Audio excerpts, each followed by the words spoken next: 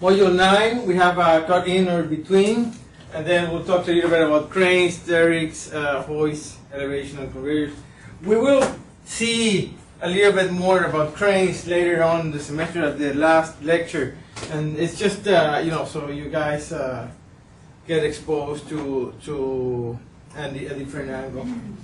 So what we want to do is again identify potential uh, hazards, try to prevent accidents and uh, and uh, fatalities on the job site uh, because of a cut or in or between um, hazards.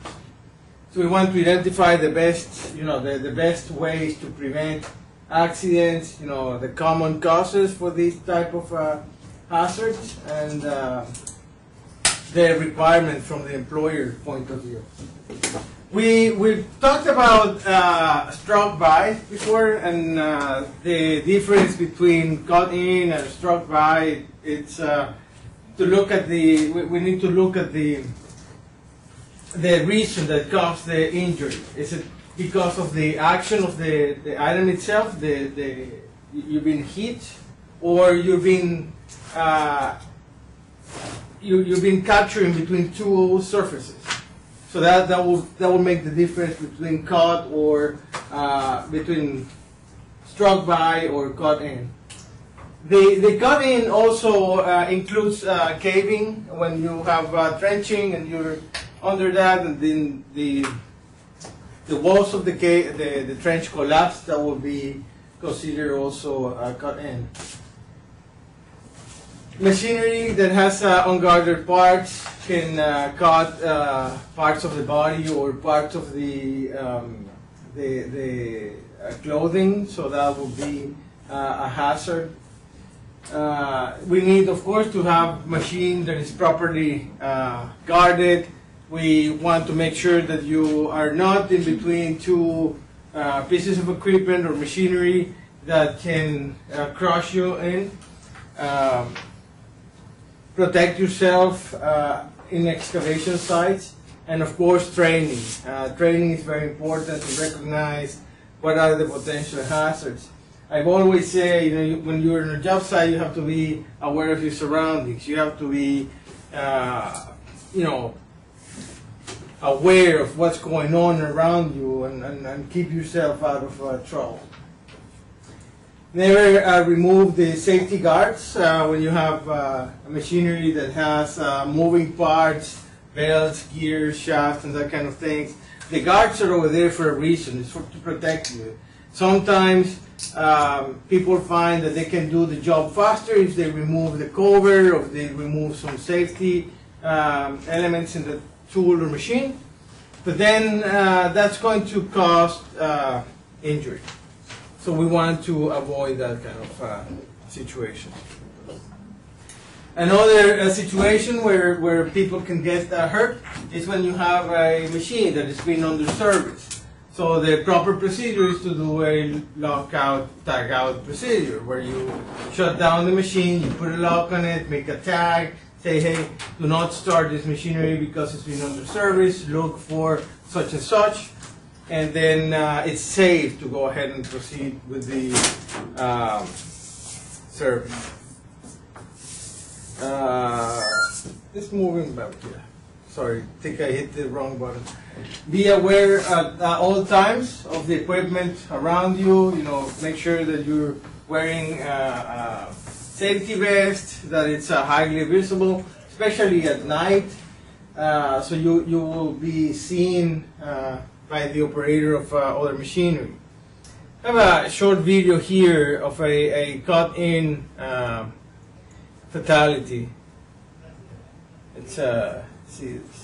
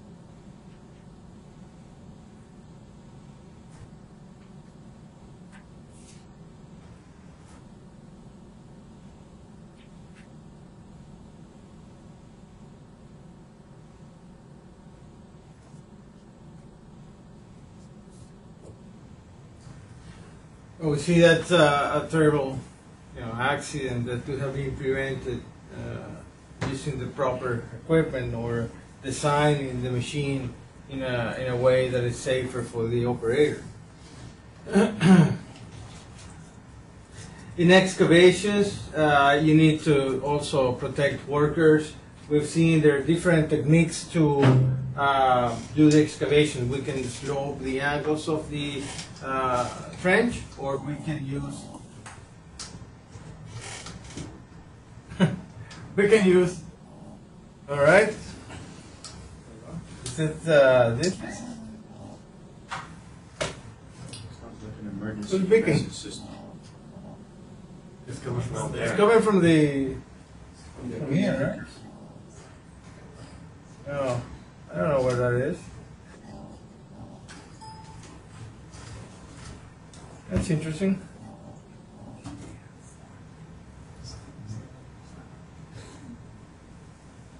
All right. Must have been some of the. Uh, uh,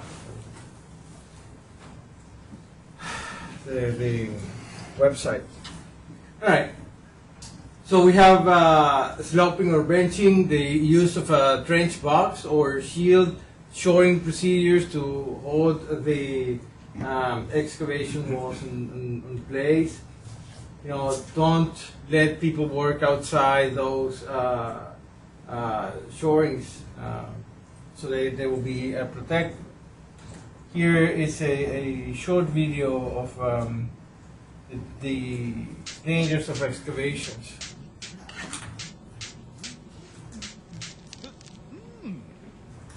Kind of a funny way to present the potential hazards.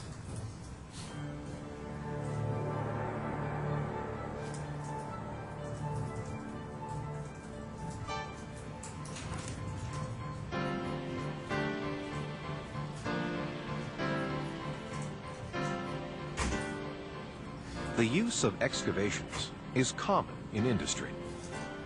Excavations can vary widely in shape and size depending on the work situation. It's an officer's responsibility to ensure that employers comply with the regulations. The first step in understanding safe excavation work is to define the terminology. A bulk excavation refers to excavations wider than 12 feet, such as basement excavations. Sloping, a system where the sides of an excavation are flared to a safe angle. Shoring, a support system designed to keep the sides of an excavation from caving in. A trench support structure, other than those designed by a professional engineer, will include uprights or soldiers, stringers or wales, and cross braces or trench jacks.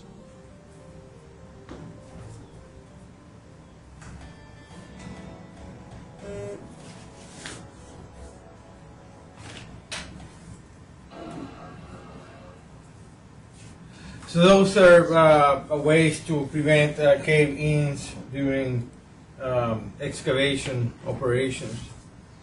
Um, cave-ins uh, is perhaps one of the most feared trenching hazards. No one wants to be buried alive, right? Uh, most people have uh, actually a tremendous fear that that may, may happen. So really, you know, we, we need to protect employees from this uh, potential.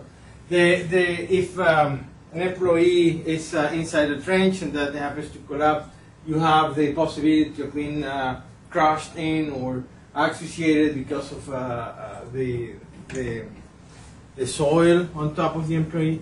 But not only that, you, you could have a, a deep trench with very poor ventilation, and you can have then gases from uh, structures that could be underneath coming in and uh, replacing the oxygen. So you may have a situation where you have uh, lack of uh, oxygen, and then it becomes uh, sort of a confined space.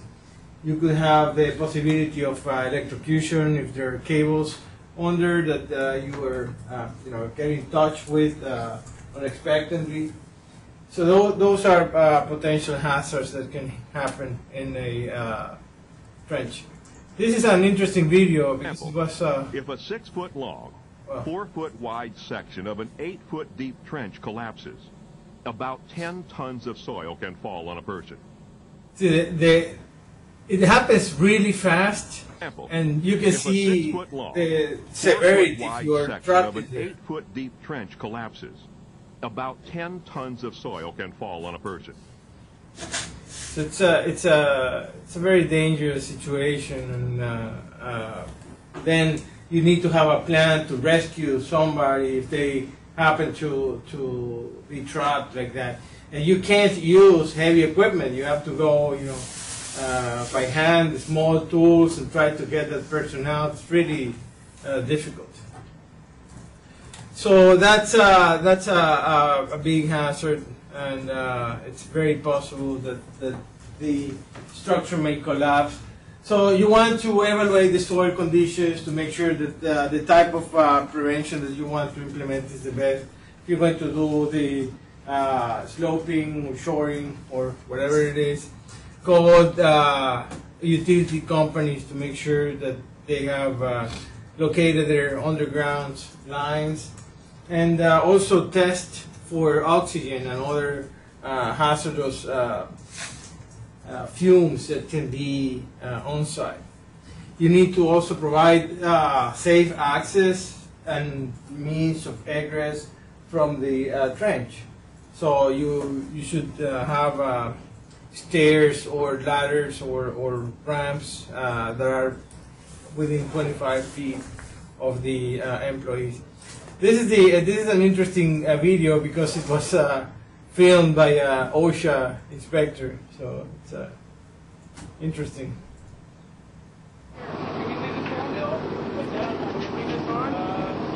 Who's in charge today?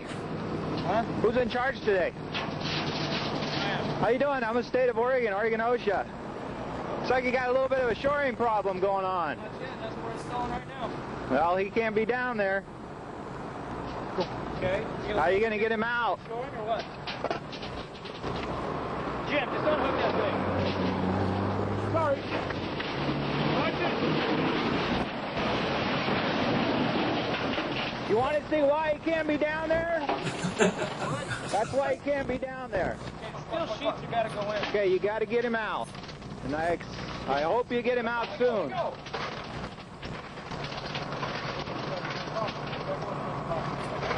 You guys drop that fucking ladder.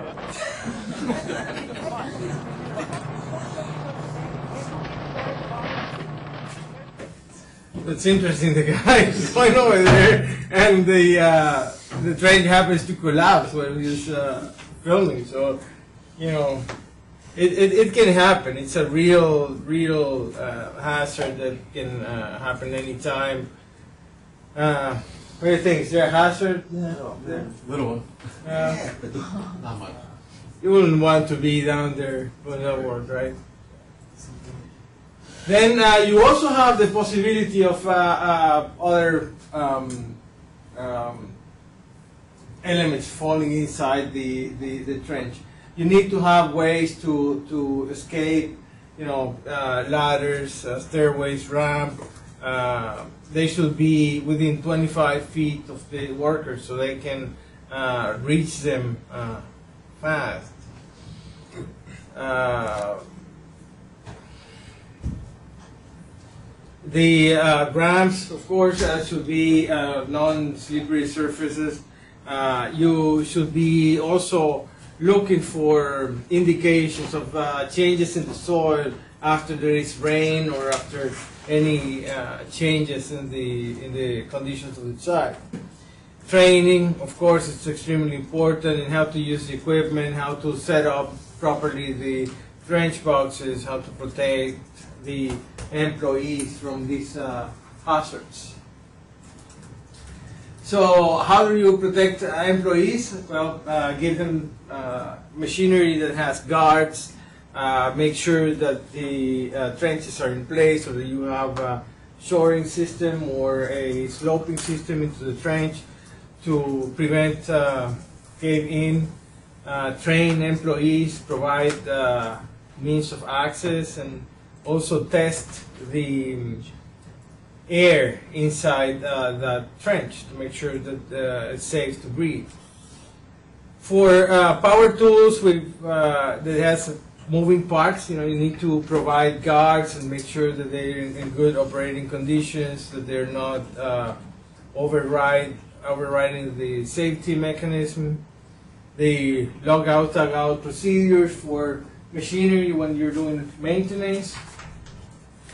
Uh, heavy equipment also uh, needs to be checked and uh, make sure that it, it's in good operating conditions and stay clear from those uh, heavy machines when they're moving on the job site because sometimes the operator cannot see you so you need to be aware of what's going on around you and not get uh, crushed between the machinery and another part or another area.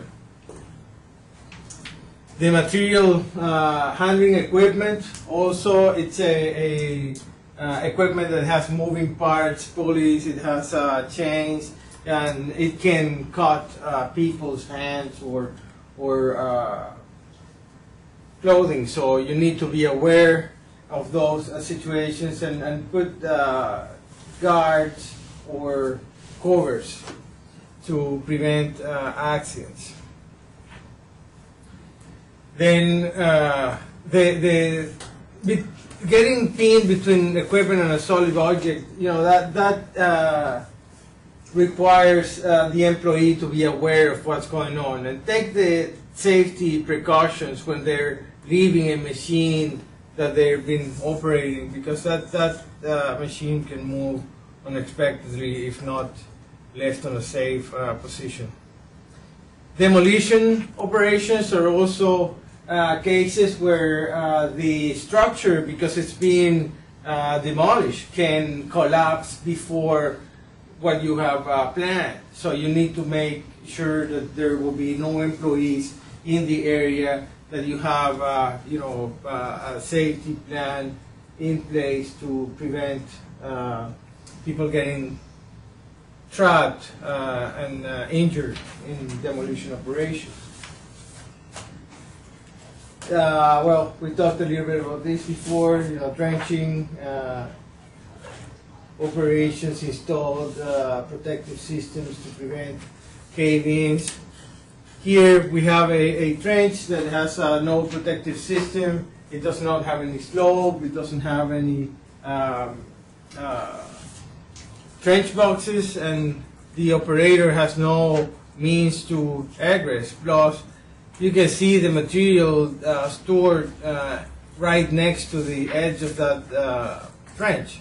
Should be at least two feet away to prevent materials falling down inside the trenching. Employers uh, must make sure that excavations and trenches five feet deep or more but less than 20 feet are protected by sloping, benching, or trench box. And if you have an excavation that is deeper than 20 feet, then you need a professional engineer to do the uh, design of the shoring system to, to make sure that it's uh, safe to be used. Maintain uh, equipment and, uh, and materials away from the edge of that excavation. You know, you need to have at least a couple of feet of clearance to prevent those objects to come inside the trench. Uh, scaffolds that are uh, installed nearby, you need, need to have uh, adequate support and be sure that will not uh, collapse and fall inside the structure. Um, well, we, we've talked about uh, the competent person. It's somebody who's able to identify a potential hazard take actions to prevent uh, to prevent accidents.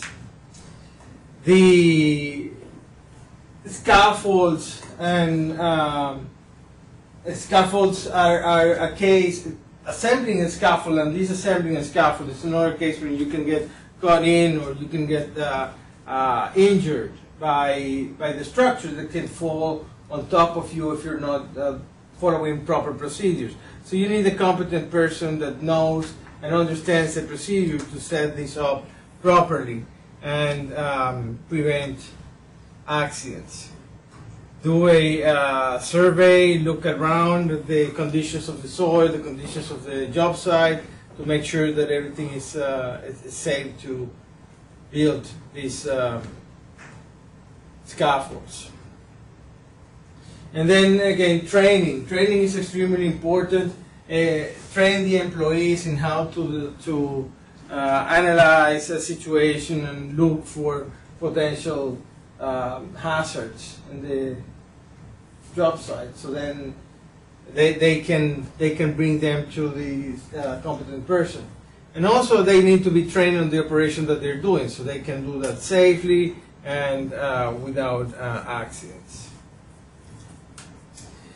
Uh, again, evaluate the soil conditions to decide what is the appropriate uh, system that we need to set in place, either sloping, shoring, uh, trench boxes, or whatever it is. Uh, use uh, plan, pre-plan, contact the utilities companies to make sure that you're not going to hit underground uh, lines that can bring in hazards. Test oxygen, test for the uh, atmosphere inside the trench as if it were a, a confined space. Provide uh, adequate means of uh, access and egress, and do not, you know, put materials or equipment within two feet of the uh, edge of the excavation. Those are the most important aspects. What's the what's the rule for if you have a trench box that uh, that like you saw the one with the trench box? It was like ten feet deep. So even though there was a trench box, it wasn't gonna it wasn't gonna act um, effectively secure the guy. If the guy was in there working the pipe, the, the if the bank gave in, it would still fall inside because it was so high. What's the rule? How far down the trench box can be? Does that to be level with the bank, or can it be like within? You, you understand what I'm saying? Yeah, I, I- see what you're saying, and I think that has to do with the with the the, the soil and the the you know the of soil condition you're uh, the soil conditions that you have, because uh, what, what what you're saying is okay. We have a, a trench here, and then we have uh, the the trench box. So let's say the trench was shorter, something like that. So we have a potential of this. Uh, this section of the, the, the trench uh, collapsing and getting inside. So you're asking if there is any regulation about these heights. Correct. Yeah, I, I don't think there is a regulation per se. I think it has to do with the competent person, somebody that can evaluate the soil conditions and decide if uh, they need to, you know, cut this up, make some sloping, and then, you know, prevent that section from falling inside. And then also looking at, okay, uh, what type of soil do we have here and how high this is. If we have uh, heavy rocks, it may be different from. Sorry. Okay. I'm sorry. It's his turn. Yeah, Come on, Leslie. with a little music. Yeah. Sorry. you know that that's uh, uh, a competent person should should evaluate the, the conditions and decide. You know what is the best way to to prevent. We normally, I normally teach them if it's if we're in a, if we're in asphalt or a lime rock, ba- we're going through a lime rock base. We typically won't cut back, um, but if we're in a, any type of soil, I always make them bench Yeah. it from the top top of the thing back. I make them Right. not bench slope. Slope. Yeah. Yeah, that's the, the, the best thing you can do is chop those corners off. If Mhm. most trench, um, most trench boxes like that, uh, what OSHA says is that it has to be above the edge of the excavation by 18 inches. Oh, So that it acts as a toe board. Yeah. So that if you're walking around and the supervisor comes out, hey, what are you guys doing down there? And I kick a piece of pipe, It it, it hits the, the metal plate there. So you should have 18 inches of gap there. So if you don't, you chop the corners until you So you have it.